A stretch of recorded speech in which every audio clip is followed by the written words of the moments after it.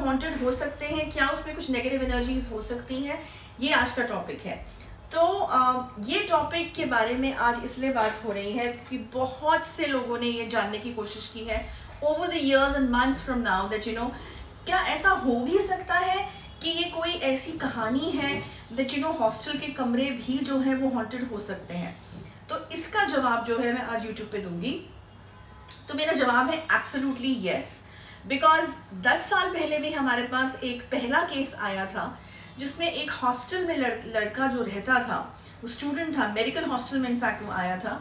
And of course the identity हम लोग तो कॉन्फिडेंशियल रखते हैं so I can tell you on that that who is the what is the name and all of that but then this person came to us ये ये इंसान uh, की family जो है उसकी सिस्टर ने हमको कॉन्टैक्ट किया था. एंड इंडिया से ही थे वो लोग. उन्होंने कांटेक्ट किया था और ये बोला था कि जब से उसका भाई मेडिकल हॉस्टल में गया है और रहने लगा है उसका बिहेवियर तीन से चार महीने में बहुत चेंज होने लगा है। क्योंकि उसके फ्रेंड्स लोगों ने भी फ़ोन करके घर में बताना शुरू किया था कि यू you नो know, कुछ अजीब हो रहा है विद योर ब्रदर तो आपको आके ज़रूर देखना चाहिए। तो so, इस इस तरीके से उनको ये चीज़ जो है वो पता चली थी। एंड होता क्या था कि जिस रूम में वो रह रहा था वो रूम जो था, वो ऑफकोर्स नेगेटिव एनर्जी उसके, उस पर्टिकुलर प्लेस में थी। उस रूम में जो पहले लड़का रहता था, उसने सुसाइड कर लिया था। आत्महत्या कर ली थी उसने। और कॉलेजेस में और हॉस्टल्स में ये बहुत होता है। इट इज़ जस्ट दैट कई बार ये जो चीज़ें होती हैं वो इंस्टीट्यूट छुपा के रखती है अपनी रेपुटेशन के लिए, अपनी डिग्निटी के लिए, अपनी इमेज के लिए लेकिन जितने भी स्टूडेंट्स वहाँ होते हैं, उनको और जो स्टाफ होता है, उनको तो ये सच पता ही होता है कि क्या हुआ है पीछे से और क्या नहीं हुआ है राइट सो सिमिलरली इस हॉस्टल में भी ये कहानी थी जो सबको पता थी कि इस कमरे में एक इंसान ने आत्महत्या कर ली है, वो कूद गया था फ्लोर से ओके okay? रीज़न uh, क्या था? कोई जान नहीं पाया था। वो आई थिंक डिप्रेशन में था ड्यू टू हिज मार्क्स या जो कुछ भी था। बट उसने आत्महत्या कर ली थी एंड उसके बाद कई लोगों ने जो वहाँ पे अलग अलग स्टूडेंट्स रहे हैं महसूस किया है कि उस कमरे में कुछ वियर्ड है उस कमरे में कुछ अजीब सा उन्होंने महसूस करा है। लेकिन जैसे कि मैंने हमेशा कहा है कि हर इंसान के ऊपर पोजेशन या कोई भी नेगेटिव एनर्जी सेम परसेंटेज से हिट नहीं करती है।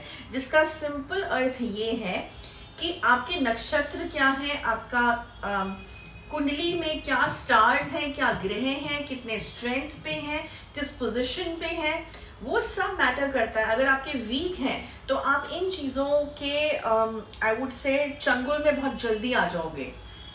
You understanding you will come इस ट्रैप में बहुत जल्दी, लेकिन अगर वो स्टार्स सही हैं स्ट्रॉन्ग हैं, जो इन नेगेटिव एनर्जीज को इतनी आसानी से नहीं एक्सेप्ट करते तो ऑफकोर्स आपको अजीब तो लगेगा सफोकेटेड भी महसूस होगा बट आपको वो नेगेटिव एनर्जी इतनी आसानी से ट्रेस और ट्रैप नहीं कर पाएँगी। लेकिन अनफॉर्चुनेटली ऐसे भी लोग होते हैं, जो जिनके स्टार्स इतने स्ट्रॉन्ग नहीं होते, नक्षत्रा भी जो है प्लेसमेंट्स वगैरह नहीं होती तो कई बार उनके ऊपर ही चीज़ें हा चीज़ें हावी हो जाती हैं। मैं ये तब बात कर रही हूँ जब किसी ने ब्लैक मैजिक नहीं किया है किसी इंसान ने मैं ये बात तब कर रही हूँ जब अपने आप ही कोई सुपर नेचुरल चीज़ से आमना सामना हो जाता है या आ, कहते हैं ना जैसे कभी किसी पेड़ के नीचे से निकल गए तो वहाँ कोई ऑलरेडी नेगेटिव एनर्जी थी वो तुम्हारे साथ आ गई या उसने तुम्हें चूज़ कर लिया जो तुम्हें फॉलो कर लिया या you know anything like this मैं उसके बारे में बात कर रही हूँ। सो so, इस लड़के के साथ यही हुआ था कि उसका धीरे धीरे जो दिमाग है, वो एकदम कहते हैं ना चलना सा बंद होने लगा था। मैंने ऐसे चलना बंद होने लगा था आई सिंपली मीन दैट उसका जो फोकस लेवल था, उसका जो सोचने समझने की शक्ति थी, उसका जो इवन रिएक्ट करने के तरीके थे, वो बहुत बदल चुके थे। वो बहुत आई मीन अपने आप बैठे रहना, हँसते रहना बीच बीच में। खाना जो वेजिटेरियन फ़ूड है उसको कई बार फेंक देना कैंटीन में ही यू you नो know, और कभी फ्रेंड्स के साथ बहुत एक्सट्रीम में झगड़ा करना अब्यूज़ करना मतलब वो एक एक ऑफकोर्स फाइट्स होती हैं फ्रेंड्स में हॉस्टल्स में पर एक अजीब एबनॉर्मल तरीके से जब कोई चीज़ होती है ना तो कई लोग उस चीज़ को पहचान जाते हैं कि नहीं ये दिस इज़ समथिंग ये नॉर्मल नहीं है यू you नो know? और उसकी बॉडी लैंग्वेज बदलने लगी उसका देखने का तरीका बदलने लगा वो एकदम सुन सा बैठने लगा। आई I मीन mean, उसको रिएक्ट क्या करना है समझ में नहीं आता था।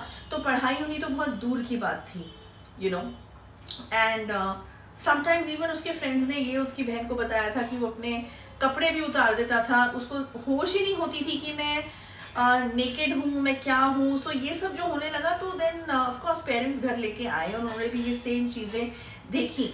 उन्होंने इनफैक्ट एक और चीज़ देखी कि ये घर से भाग जाता है। यू नो रात में भाग जाता है।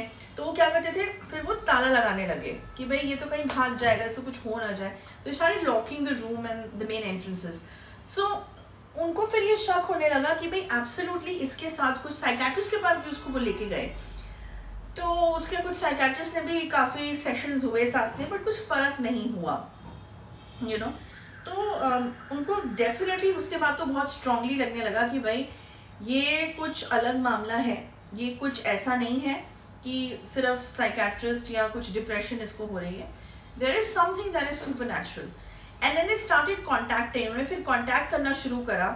बाबाज को, तांत्रिक्स को अलग अलग हीलर्स को एंड ऑल ऑफ़ दैट तो कुछ हद तक उसको आराम मिलता था, लेकिन उसके बाद फिर सेम तरीके से वो चीज़ वापस आ जाती थी। वो नेगेटिव एनर्जी कह लो कुछ भी नाम ले लो वापस आ जाती थी। एंड सेम uh, जो उसके बिहेवियर uh, होते थे वो सेम ही हो जाते थे। बैक टू स्क्वायर वन तो उसके बाद मैंने केम टू अस जब हमारे पास ये केस आया जब उसकी बहन ने हमको ये चीज़ लिखी तो केस uh, स्टडी हुई डायग्नोसिस हुआ जिसमें ये सारी चीज़ें पता चली कि ये क्या हो रहा है और क्या इसके पीछे क्या इसकी जड़ क्या है जो मैंने बताई अभी जड़ मैं पहले बता चुकी हूँ इस वीडियो में। कि वहाँ पे किसी ने सुसाइड करा था और वो जो एनर्जी थी नेगेटिव एनर्जी इसके साथ इसको ऑपरेट कर रही थी। मकसद यही था कि इसकी भी डेथ हो जाए एंड uh, तंग करना शुरू हो गई थी in the sense it was a very depressive soul and depressive spirit I would say for that matter तो ये चीज़ें हो रही थी एंड देन ऑफकोर्स उसका इलाज चला स्पिरिचुअली इलाज चला and all of that happened and दो ढाई साल उसको लग गए थे कम्प्लीटली इस चीज़ से निकलने के लिए। ऑफकोर्स नेगेटिव एनर्जी तो निकल गई थी बट जो उसके माइंड में इम्पैक्ट हुआ था। देखो जब तुम बहुत टाइम से भी किसी नेगेटिव एनर्जी के साथ रह रहे होते हो ना या उसके इम्पैक्ट में रह रहे होते हो तो जब तुम ठीक भी हो जाते हो तो कुछ वक्त लगता है उस मेंटल ब्लॉकेज को तोड़ने का अपने आप बिलीव करने का आई एम एब्सोल्युटली फाइन क्योंकि डर फिर भी लग रहा होता है। uh, विश्वास नहीं होता है जब रात होती है अंधेरा होता है कि सब कुछ नॉर्मल हो गया है okay so it takes time mentally heal होने में एंड फिजिकली हील होने में एंड इवन इमोशनली हील होने में। समटाइम्स सोशली हील होने में भी वक्त लगता है। और ब्लैक मैजिक केसेस में तो फाइनेंशियली हील होने में भी टाइम लगता है ओके okay? तो इस सवाल का जवाब मैंने दे दिया है क्लियर कि हॉस्टल्स में डेफिनेटली ऐसे कुछ रूम्स या कुछ ऐसे वेन्यूज हो सकते हैं होते हैं इनफैक्ट जो हॉन्टेड हो सकते हैं जहाँ पे कोई मिस हैपनिंग हुई हो और तुम तुम्हारे साथ वो चीज़ कई बार लग सकती है और तुम्हारी लाइफ डिफ़िकल्ट हो सकती है एबनॉर्मल बन सकती है। तो अगर ये जो, जो कुछ भी सुना है इनमें से कोई भी पॉइंट अगर मैच करता है या इससे आसपास भी कोई चीज़ अगर लग रहा है कि यस एब्सोल्युटली यू नो ये कुछ सेंस बन रहा है हम किसी के साथ होते हुए देख रहे हैं इट इज़ हाई टाइम कि उसके, उसका तुम डायग्नोस कराओ, चाहे हमारे से कराओ, चाहे कहीं और से कराओ बट कराओ ज़रूर ओके okay? हमारे पास diagnosis of course paid service है it is not free of cost and international clients के लिए अलग है और इंडियन क्लाइंट्स के लिए अलग है।